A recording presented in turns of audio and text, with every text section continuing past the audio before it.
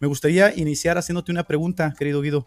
Eh, ¿Tú crees que esta sangre, esta supuesta sangre que se encuentra en estos milagros, es la sangre de Jesús? Bueno, eh, asegurarlo 100%. Inevitablemente entonces esto rompe con la cadena de conocimiento de la causa final.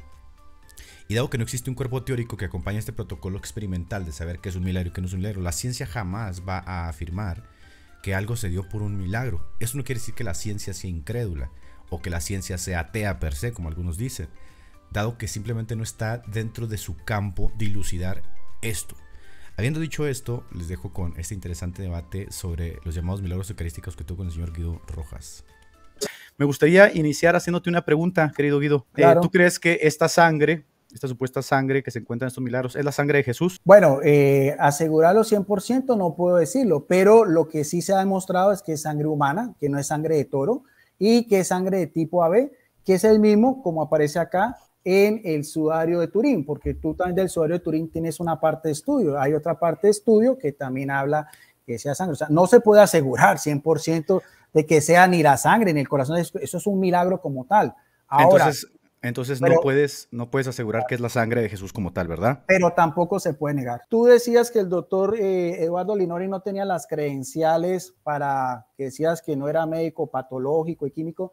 ¿Te retratas de eso o todavía lo dices? No, de ninguna manera me retracto y te voy a decir por qué. Tú sabes que en filosofía de la ciencia la falsabilidad o la refutabilidad es la capacidad de una teoría o hipótesis que sea sometida a pruebas que la contradigan. ¿Sabías eso? No, pero hablemos del doctor Linori. ¿Cómo, cómo bueno, pero sí, te voy a, te voy a, voy a responder, porque no te voy a responder de forma abrupta. Sabías eso, ¿verdad? Lo sabías. Sí, pero vamos a los hechos. Demuéstrame que no tiene las credenciales. Te estoy respondiendo. Para que una teoría o una hipótesis sea considerada científica, debe ser sometida a pruebas que la contradigan. Eso se llama en filosofía de la ciencia la falsibilidad o la refutabilidad. Cuando no existe esto, no se puede considerar algo como científico, aun cuando un científico lo esté haciendo como tal.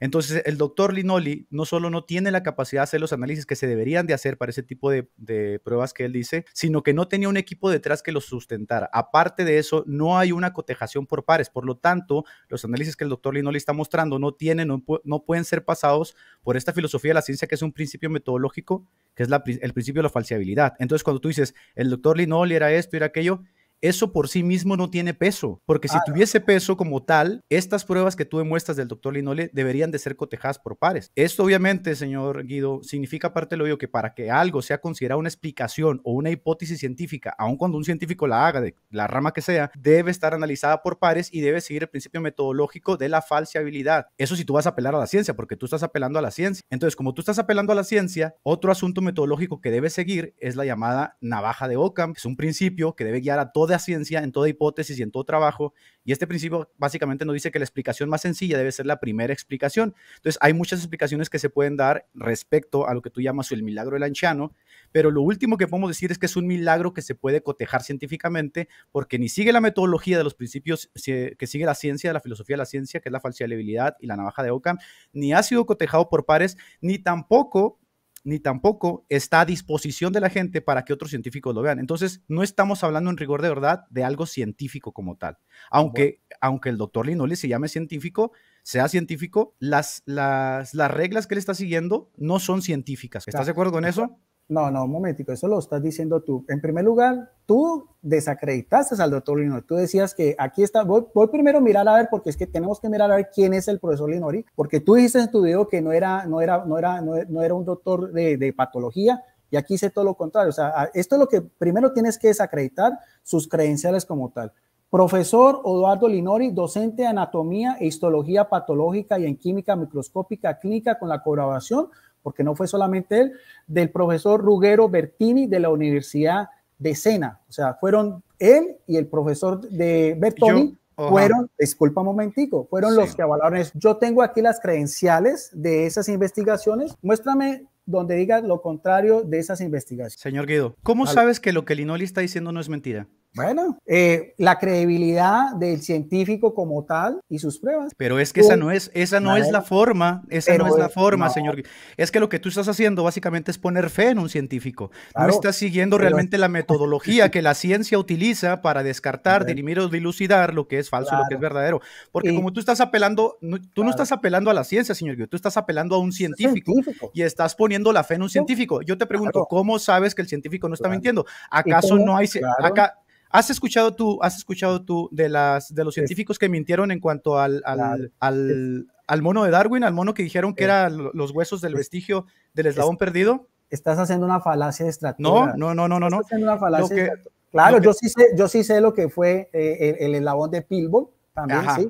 Que ¿Y no mintieron esos científicos? Sí, mintieron. Y, y ahora dime tú, ¿Quién ha desmentido al profesor Linoli? porque porque su trabajo no lo ha puesto a consideración de pares, señor Guido. Pero tú solamente eres el único que se ha atrevido a desmentir todo esto que tiene también el aval. a ver, lo, que, a ver, fueron, por, eso te escúchame, escúchame. Yo no estoy desmintiendo al doctor Linoli. Yo estoy diciendo que la metodología que Linoli está usando no es científica. Porque si la metodología que Linoli usa es científica, utilizaría los principios metodológicos de la ciencia que se utilizan para descartar entre hipótesis y falsedades. Y uno de ellos es el principio de falsibilidad. En el momento en que Linoli no pone su trabajo a la revisión de pares y lo indexa en revistas internacionales, su trabajo queda a discreción solamente de lo que él dice. Entonces llegan personas como tú que no tienen familiarización con la ciencia y dicen Linoli. Tampoco. No, pero no, yo tampoco. Ah, bueno, pero yo, yo estoy siguiendo. Pues, pero, a ver, mira, en, en la, cuando tú tomas una licenciatura, que supongo que la tienes, te van a enseñar justamente que para dirimir entre algo que es verdad y algo que es falso, tienes que seguir ciertos principios metodológicos. Yo no estoy apelando a la ciencia, señor Guido, lo estás apelando tú. Tú estás apelando a un anticatolicismo por el cual te has hecho famoso últimamente en las redes sociales. Tú estás, estás apelando a la ciencia.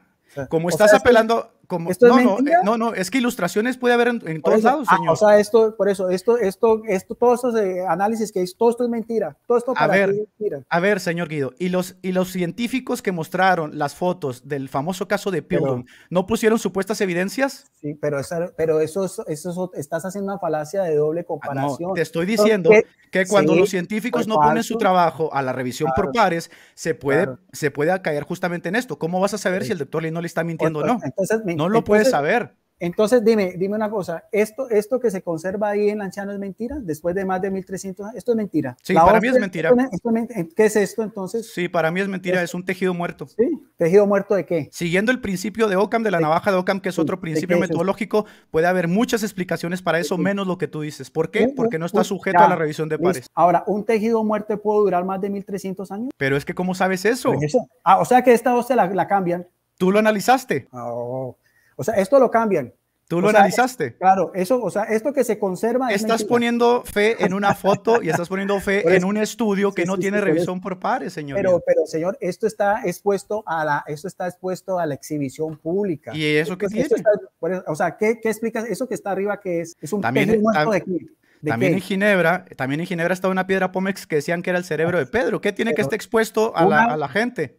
Una piedra Pómex no es esto, pues que esto es tejido eso es tejido de carne. tú asumes que es tejido porque tú lo leíste.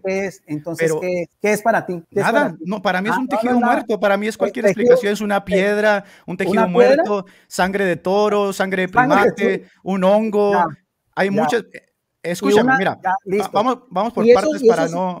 te dejo hablar y luego me dejas hablar, dale. Bueno, listo, listo, listo. Yo, yo te quiero preguntar, o sea, ya estás poniendo en tela de juicio todo porque esa, esa, esa es tu posición. O sea, dices que esto para ti puede ser cualquier cosa. Sí. ¿Esta, ¿Esta cualquier cosa se puede conservar por más de 1300 años? Sí. ¿Sí? ¿Cómo? Explícame. Ok, te explico. Ahora tú me dejas hablar a mí. ¿eh? Sí, claro. Yo no estoy apelando a la ciencia. Tú estás apelando a la ciencia.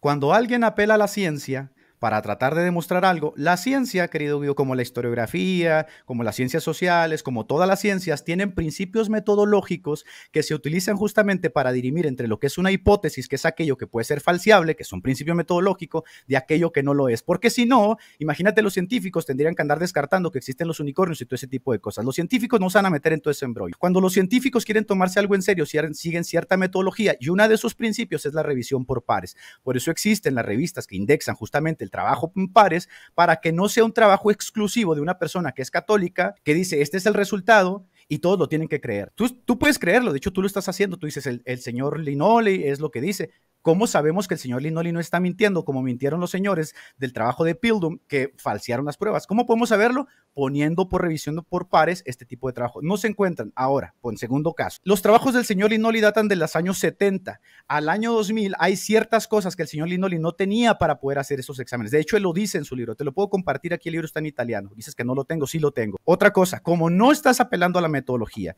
ni estás apelando al principio de la ciencia, el trabajo del señor Linoli en la nomenclatura, en rigor de verdad, no es un trabajo científico, es un trabajo privado que se pone al, servicio de la iglesia, pero no es un trabajo que esté indexado justamente en un, tratado científico. Ahora, la carga de la prueba, señor Guido, no es mía, la carga de la prueba es tuya. Tú me dices, ¿y entonces qué es esto? Yo te puedo dar mil explicaciones siguiendo otro principio metodológico que se llama justamente la navaja de Ockham, que dice que la explicación más sencilla es la explicación más, más plausible. ¿Qué puede ser? Pues puede ser un pedazo de hongo, puede ser una piedra, puede ser cualquier cosa. Cuando tú demuestres los trabajos por pares de que esto se cotejó y en efecto la ciencia ha dicho esto es sangre, esto es carne, esto es músculo, yo te digo, entonces tienes razón. Por lo pronto lo que tú tienes es una especulación de una información privada que nunca fue cotejada por pares y que no sigue una metodología científica como ya. ahora te Entonces, entonces el, el, monje basiliano, que no se llamaba Basilio, era un monje de la orden San Basilio, porque ahí te equivocaste. Entonces te decía en la ciudad del anciano Italia un hieromonje llamado Basilio. ¿Qué es un hieromonje? No sé qué, qué es entender, llamado, y no es un hieromonje, es un monje de la orden de Basilio. Aquí mi error, mi error, pero estamos hablando de la ciencia, mi error. Sí, sí, no, disculpa un momentico, porque es que esto fue lo que aconteció. Tú puedes demostrar que en ese momento de la, de, de la misa en que estaba ese monje basiliano, la hostia no se convirtió en carne y el vino en sangre hace 1300 años. Eso fue mentira también. puedo afirmar que es una mentira, sí. Es una mentira, sí. sí es una mentira. Y es una mentira que estuvo ahí expuesta durante más de 1300 años. Es una mentira a menos que tú demuestres lo contrario. ¿Y cómo, demuestra, ¿Y cómo demuestras tú que fue una mentira ese milagro eucarístico? ¿Cómo lo demuestras tú? El hecho histórico, primero. El hecho histórico. La historiografía también es una ciencia, querido Guido. Y la historiografía también tiene metodología. ¿Has leído, por ejemplo, los principios de McCulloch de cómo se puede descartar algo de una hipótesis falsial y otra no en la historiografía? todo el mundo está viendo acá que te vas por falacias distractoras. ¿Cómo puedes demostrar que ese milagro no ocurrió en Lanchano hace 1300 años? ¿Cómo lo puedes demostrar? Siguiendo justamente los principios eh, científicos. O sea, que colocaron un pedazo de carne ahí y, unos grumos de, sangre durante de 1300 años y, ya. Y, eso hoy en día se permanece ahí y no se... Te respondo. Te respondo. lamento muchísimo que ese tipo de explicaciones te creen ese sesgo cognitivo a causa de que tú tienes fe en que esa realmente es sangre y carne posiblemente de Jesús, pero yo te respondo con el mismo principio que tú dices utilizar, que es la ciencia, que dice el principio de la navaja de Ockham, que la explicación más sencilla es la explicación más posible. Este es un principio metodológico que utiliza la ciencia, no sé si tú lo sabías. Entonces yo puedo darte mil explicaciones, una piedra, es un hongo, es cualquier cosa, hasta que tú demuestres lo contrario. Tú no puedes demostrar lo contrario, por lo tanto tú tienes que apelar por medio de la fe a lo que un científico dice, pero tú no puedes probar que ese científico esté diciendo la verdad, porque la ciencia utiliza una metodología para que los científicos no se salgan del cuadro, como hace mucha gente, haciendo que esas, esas cuestiones científicas sean revisadas por pares. Este trabajo, señor Guido, no está indexado, no está revisado por pares, sencillo. Claro, o sea que mintió él, mintieron todo, eh, mintió también el, el otro doctor que, que, que el profesor Ruggero Bertini, ¿habías escuchado también hablar de él? Que fue el que de la Universidad de Sena quien avaló los trabajos de, de, Urioni y también todas las, las, diapositivas que él mostró, todo esto es mentira, porque tú decías que era también que podía ser sangre de toro. De hecho, tú, tú decías que serratia, yo te pregunto, eh, eso, una serratia en pan puede durar 500, 600 años de los otros muchos milagros eucarísticos? ¿Tú puedes, sí, sí. Demuéstrame científicamente que eso de serratia también puede ser los, los milagros eucarísticos, porque eso fue una conclusión tuya o tienes algún médico, algún científico que te avale eso. Fíjate, y luego cómo, cómo transgredes la carga de la prueba. La carga de la prueba es tuya, no es mía, ¿eh? Ojo. Tú, tú eres que la... No, no, no, no, la, carga de la... fuiste tú el que dijo que... Sí, ahí te respondo, te voy a responder. Pero la carga de la prueba, señor Guido, no es mía, es tuya. Tú dices que esa es carne y sangre de Jesús que está en el sudario, es, la carga es tuya, no es mía.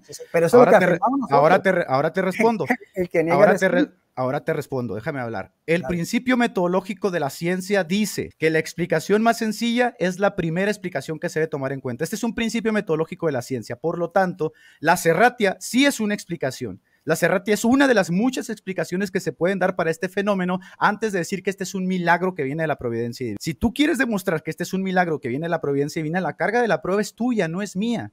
Pero como tu trabajo ni siquiera pasa a los principios de la metodología científica, ni siquiera eso puedes probar. Por eso yo te inicié preguntando, ¿esta es la sangre de Jesús? No puedes decir que es la sangre de Jesús. Bueno, esta es la sangre... Pero es, que, ah, pero es que esa prueba no es mía. Es, los negativos no se prueban. Yo no te puedo probar un negativo. La prueba es tuya. Yo no te puedo decir, no, yo no puedo decir que la sangre no. Pues no, la sangre puede ser de un primate, puede ser de Juan, de, Pedro, de Mar, yo qué sé. La prueba es tuya. Tú no puedes decir que la sangre es de Jesús. Ergo, la sangre no es de Jesús, a menos que lo demuestres. Es que estos son principios lógicos, señor Guido. Como a ver. Claro. Entonces muéstrame lógicamente que un pedazo de pan con serratia puede durar 3, 4, 5 siglos. Muéstrame también un eh, ejemplo de pan con serratia que puede durar también, porque estos milagros eucarísticos están expuestos a la exhibición. No es el único, son más de 100 milagros eucarísticos. O sea, todos, todos los milagros eucarísticos para ti son serratia. ¿Tú, puedes afirmar eso? ¿Todos los más de 100 todos son falsos? Creo que no me estás entendiendo. De hecho, si tú vuelves a ver mi video, antes de poner Serratia, puse primera explicación. Siguiendo el principio metodológico de la navaja de Ocan, una explicación, una de las primeras explicaciones es que la Serratia es una respuesta apropiada para este fenómeno que se da particularmente en el catolicismo. No, no, señor. No, la Serratia es una, es una bacteria, señor Guido, conocida que se da justamente en el pan. Claro.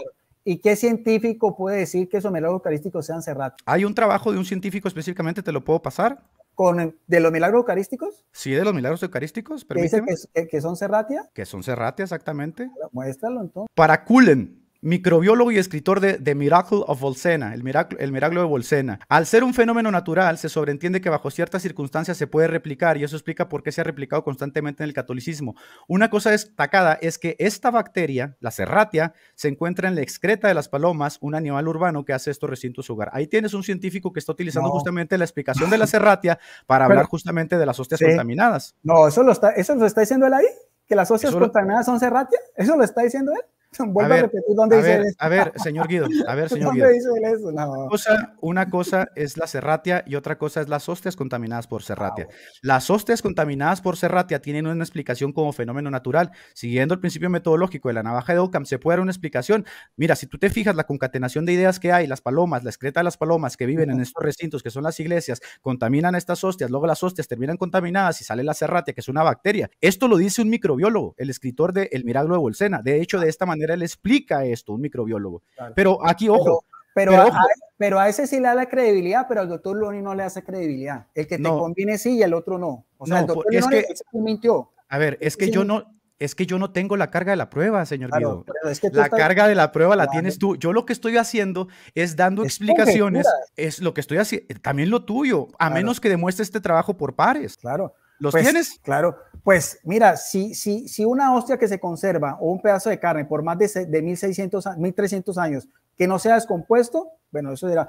Ahora, ¿cómo explicas tú ese serratia en, el momento de la consagración? Porque es que la gran mayoría de esas hostias se dieron en el momento de la consagración. ¿Cómo explicarías eso que fue en el momento de la consagración, que curiosamente apareció la serratia? ¿Cómo explicarías tú a ver, a ver, pero es que yo no tengo la obligación de responder todas y cada una de tus inquietudes. Yo lo que estoy haciendo es, tomar, en, es tomar en su margen general todo ese... Hipótesis todo ese aparato que tú haces para presentar el supuesto milagro y tratar de dilucidarlo a través de los principios científicos que tú estás apelando. Yo no estoy apelando a ellos. Si yo estuviera apelando a, la ciencia, sería porque tú estás demostrando algo que está revisado por pares, algo que no está revisado por pares. Entonces la obligación no recae sobre mí. Si tú sigues el método científico, Guido, tú que eres un licenciado, que sabes de los principios de falsibilidad, que sabes de los principios de, la navaja de Ockham, de los principios metodológicos con los que la ciencia trabaja, no podría ser tan cauto con este tipo de cosas. El señor Linoli nunca puso sus trabajos a la revisión de pares. Es decir, nadie sabe si el señor Linoli está mintiendo o no. Tú me muestras unas fotitos y ¿quién te dice que esas fotos no son falsas? Tú me vas a decir, no, no, no puede ser que... Mira, otra vez, quieres poner la carga de la prueba sobre los demás. Quieres poner la carga de la prueba para no decir lo contrario el señor Lindo le debería decir, mira, todas estas personas, todos estos científicos ya comprobaron que los exámenes y estudios son verdaderos, pero como no existen, lo único que me dices es que le ponga mi fe ciega y mi voluntad en lo que dice Linoli. Y, ojo con esto, de que no dudo de la credibilidad de, Linoli, pero es que la ciencia no trabaja así, Guido. Y como tú estás apelando a la ciencia, yo me estoy sometiendo a eso que tú estás apelando, a la, misma ciencia. Lo que te estoy... No, ojo, Linoli jamás dice que esto es un milagro. Otra vez... No, bueno, lo que ocurrió, lo que ocurrió. No, el, primero... Ver, ¿te histórico. Es que ese es, el, ese es el cuento, querido Guido. El cuento es ese, que ustedes van con una predisposición a leer a Linoli que no les permite justamente ver eso. Pero déjame acabar, déjame acabar. Para empezar, Linoli nunca dice que es un milagro. Porque si obviamente está utilizando el método científico, no puede decir que es un milagro. Esa es la última explicación que alguien como científico daría. Este es el libro. Este no es, libro. lo ves, no, lo tienes. No, señor. Este es el libro del, del, del, del Anchano que tiene todas las autorizaciones eclesiásticas de todos los trabajos del INORI. Esta es la autoridad máxima. Por yo, te, yo te pregunto, ese es Ahora, el estudio muestra, de, te estoy eh, déjame sí, hablar, déjame sí, hablar.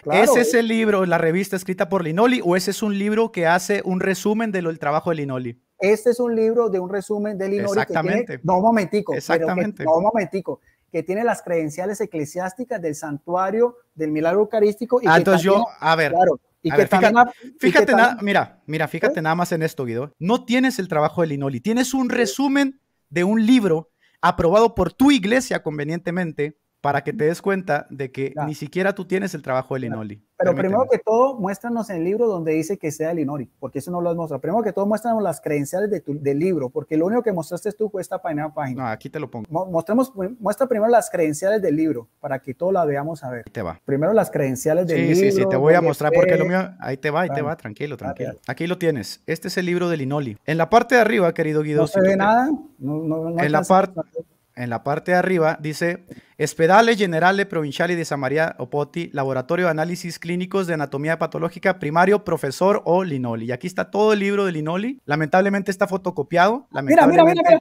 Las mismas láminas que tengo yo. Mira, mírala, mírala. Sí, no, a ver, a ver, a, a ver, querido, mismo. ey, querido Guido, a ver, a- Edgar. lo interesante de este Mira, libro, lo interesante, Mira, mira, mira, mira, Déjame mira, hablar, mira. déjame hablar, déjame hablar. Lo interesante de este libro, Guido, son las conclusiones a las que Linoli llega, que no son Mira. tus conclusiones, no son Ah. tus conclusiones. Lo Aquí están las pasar- conclusiones de Linori también con la firma de él. Sí, ¿Quién pero ese no es el libro de ese Ah, no es el libro de está- Linoli. Lo mismo que estás mostrando tú, lo mostré yo aquí. en mi No, ese no es el libro de Linoli. No, ese no es el libro de Linoli. Ese es un resumen aprobado por tu iglesia del Mira, libro de mira, Linoli. Lo que tú mostraste y que, pasaste de una manera rápida, Edgar. Ah, no, no, pues porque el libro está en italiano, Claro, o sea, no. Claro, sí, sí, mira, mira, míralo, míralo, míralo. Mira, lo mismo que tú mostraste. Dices que es falso, mira. Lo, lo primero que dices, eh, eh, Edgar, y que muestra tu anticatolicismo, lo primero que dices es que... Pero eh, ¿qué tiene que ver esto con, pero, con el claro, catolicismo, Guido? Porque, porque tú te estás haciendo famoso y estás creando un canal que de hecho le está sacando ganancia económica precisamente con todos estos estudios que das tú como si fuera la última palabra y no son la última palabra. Y lo primero que estás poniendo en tela de juicio es que el milagro ocurrió eh, con, el, con el monje basiliano, que eso es mentira. Y en el A libro ver, que tú a- apareces, a ver. tú apareces- en el libro A que ver, tú te voy a pones, te- mira, Guido, escúchame. Te voy a dar, te voy a dar, te voy a dar el Discúlpame, privilegio, te voy a dar, claro. te- escúchame, sí, porque ya dijiste lo de Basilio, te voy a dar el privilegio de la duda. Tú no sabes, tú no sabes porque ya te demostré que esto no está cotejado por pares, no es un estudio científico en No, regularidad, no, pero, primero el pero te- pero- histórico. pero te voy a dar el privilegio de la duda. Claro. ¿Cómo No, sabes que este es un milagro divino y no un milagro del diablo? Porque aquí, ah, ya te fuiste por otro lado. No, no, no, contéstame, por- claro, contéstame. pasa- claro, pasamos de lo, de lo científico Sí, a sí, sí, una- sí. ya algo, sí. Pasamos, contéstame, claro. ¿cómo lo sabes? Tampoco lo sabes. Bueno, discúlpame un momentico. El Sí, sí, te diablo es el padre de la mentira. Y Jesucristo dijo, mi carne es verdadera comida y mi sangre es verdadera. co-". Eso dijo en el... En el- en ¿Qué tiene en que ver eso? ¿Qué tiene Bueno, que ver eso con el milagro? Porque para nosotros sí Yo te estoy preguntando específicamente mismo. cómo sabes, cuáles son los métodos que tú utilizas para sea, distinguir entre un milagro del diablo y un milagro divino. Claro, ¿Cómo sabes? Ahora, muéstrame un milagro del diablo. ¿Cuál milagro del diablo eh, pondrías tú como referencia? Eh, para- Moisés, en el caso de Moisés, cuando convierte no, la, serpiente. No, no, pero es que yo te estoy haciendo la pregunta, no me cambies la prueba. No, porque me te la prueba. O sea, pasas tú... Una pregunta no se responde Claro. con otra pregunta. Respóndeme lo que te estoy preguntando Claro. porque ya te di el privilegio de la duda de que en realidad sea un milagro divino. Ya te lo estoy concediendo. ¿Cómo sabes que no es Pero- un milagro del diablo? Bueno, pero pasemos eso. Pero la primera, la primera página del libro Linori dice lo, lo, lo, lo del monje basiliano y estás diciendo que era mentira. Y tu mismo libro, en tu primera página dice lo que sucedió en el siglo VII. no me vas a responder entonces. Sí. No, me vas a... No, no, no, sí. Ándale, Vamos, pues. sí. Respóndeme O lo sea, que te estoy preguntando. Claro, ¿cómo sabemos si es de Dios o es del diablo? Pues entonces, mira, todos los milagros eucarísticos que han ocurrido, todos los fenómenos místicos en la Iglesia Católica, entonces, si vamos a decir, no, es del diablo porque yo pienso que sea el diablo, eso no va a entender de que sea el diablo. No, no, pero yo te Tú estoy preguntando a ti. que ¿Cómo eso. sabes? No, o sea, que tú pienses y que Claro. yo piense. ¿Tú cómo No. sabes que este es un milagro Claro. de Dios y no del diablo? ¿Cómo Y, sabes? Claro, pues yo no soy Dios para decir si eso es un Entonces no milagro. sabes, Claro, no pero sabes. tú ta- Pero, tú, tampoco sabes. No, No, pero la tampoco- carga de la prueba no es mía. Yo no estoy diciendo Sí, que es un pero- milagro. A mí ni pero- me va ni pero- me viene. No, tú eres, pero- el que, tú eres no. el que dices que es un milagro. ¿Cómo Pero sabes que es un milagro de Dios? Si te vas, si te viene, entonces ¿para qué te dedicas? ¿Por qué no te dedicas a enseñar? Entonces no me vas a responder, ¿verdad? No me vas a responder. Por, eso. ¿Me vas a responder o no? No? Por eso, yo te voy a responder, pero si, no te, pues. pero si no te interesa, entonces ¿para qué te metes en cosas que no son de tu iglesia? Punto y aparte, respóndeme la Por pregunta. eso, no, no, no se puede saber ni lo uno ni lo otro, nada. Tú Fíjate. tampoco puedes saber, por eso, no, eso no es concluyente. Ah, vamos, en- vamos, no puedes concluir lo de la serratia porque es imposible que un pan con serratia pueda durar siglos enteros. Y tú decías en, en- en- en tu video que colocaban un, un- yo no sé qué pan con serratia en agua y se deshace. Eso por ahí. Lo de las palomas no tiene nada que ver. Lo del profesor entonces, señor Guido, profesor Linori, mostraste tu libro una manera propias, rápida, señor de una Guido, manera rápida y en este mismo libro en tus propias palabras, en tus propias vas, palabras, ahora te vas, te, te vas a que si es del diablo, no, pues sí, ¿cómo en tus propias palabras, en tus propias palabras, tú no sabes que este es un milagro divino, no Tampoco, tampoco podemos afirmar que sea lo contrario. Tampoco Pues mira, que mira qué certeza tan linda tienes, Claro. que ni siquiera sabes si es del diablo o si No, es de pues, Dios. no, pues, pero como, pero, pero escúchame, como no sabes, como claro, no sabes si es un milagro divino, A un, a un plano na- sobrenatural. Pasamos a un plano ¿y, sobrenatural. y cuál es el problema con Claro. ello? Por eso, muéstrame qué milagro. eh, eh, bueno, ahora decías lo, lo de los milagros en la Biblia. ¿Cuál milagro en la Biblia? ¿Cuál? ¿La, la de las serpientes? ¿Eso fue un milagro o era una alucinación? Lo de Moisés. ¿Cuál más puedes nombrar? Porque el mismo Moisés también coloca su vara y la vara de Moisés se come a A las ver, serpientes pero déjame, déjame acabar mi idea, por favor, acabar mi idea.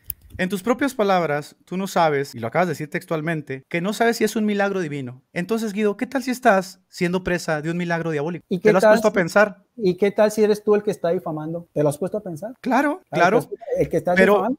pero porque- fíjate, pero escúchame, pero déjame acabar mi idea. Dale, dale, dale. Yo no soy católico, Guido. Claro. Yo no estoy defendiendo esto. Tú eres el católico. Tú Pero- eres el que dices que es un milagro. Tú eres quien tiene la carga de la prueba y resulta que ni siquiera tú mismo estás seguro de es un milagro divino. Entonces, ¿por qué me reclamas a mí si ni Claro. tú mismo Claro. estás seguro de es un milagro divino?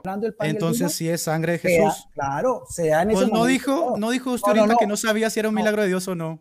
Entonces, si es sangre de sea- Jesús. Claro, sea en ese Pues no momento, dijo, no dijo usted ahorita que no sabía si era un milagro de Dios o no.